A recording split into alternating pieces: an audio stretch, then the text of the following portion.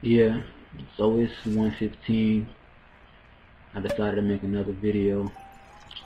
I had some shit on my mind, and you know, I do this shit for the fun of it in the past time, and the nigga have shit on his mind.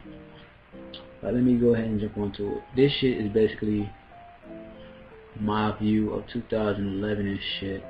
So, yeah, let's jump into this shit. Uh, shouts out to my Rock Boy fam. I do this shit every time, you know day every day. Um, shouts out to everybody I met in high school. Shouts out to my track coach. Shouts out to Coach Ease. That's my nigga. Coach motherfucking Ease. You my nigga. Um, you probably wondering why I look cold. It's cause I am. Niggas don't know how to turn on the fucking heat in here. So a nigga freezing and shit. Yeah. But um 2011 was interesting. It was full of bullshit, good times, bad times, a fucked up relationship, all that good shit, you know, all that good shit and bad shit. But you know, um, last year basically proved to me how fucked up our generation is. Like very, very fucked. Um,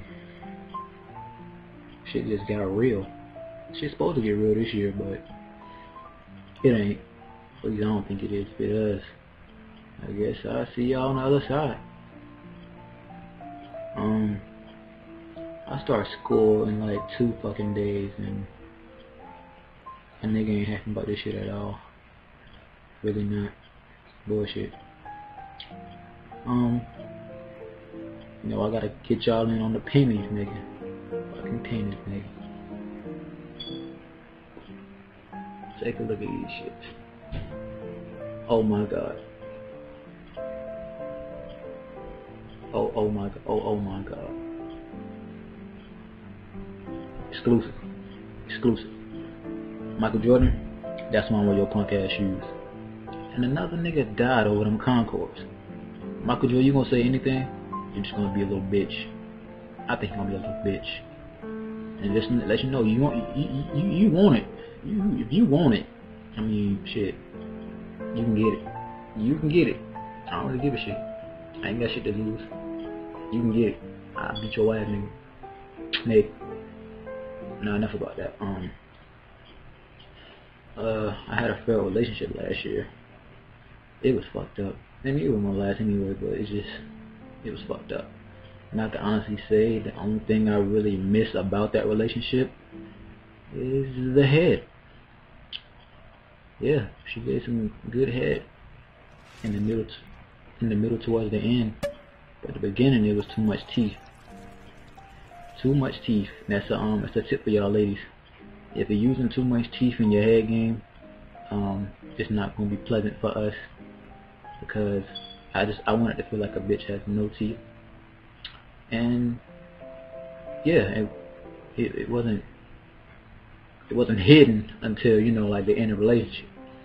Now, till one of y'all girls know how to you know you know, hold up, hold up. Fuck it. Y'all competing with this. So y'all start competing with this. This always gonna be our right hand man. Alright. Telling you. Ain't nobody know how to touch us like ourselves. Real shit. But you know. Only thing I really didn't get about that whole motherfucking relationship was in the beginning she told me she never gave head.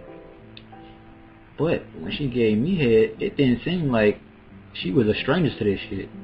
It seemed like she was, well, it seemed like she did this shit a couple times. She wasn't no stranger to this shit. She, she had a little experience, and that's why I think she fucking lied to me. But oh well, she's somebody else probably now. Somebody else getting the head. Shouts out to you, nigga. Whoever the fuck you are. But um, shouts out to Whitney. That's one of my my girls that's been there for a minute. I love you, and you know y'all gonna be cool. Um, what else? Um, shit.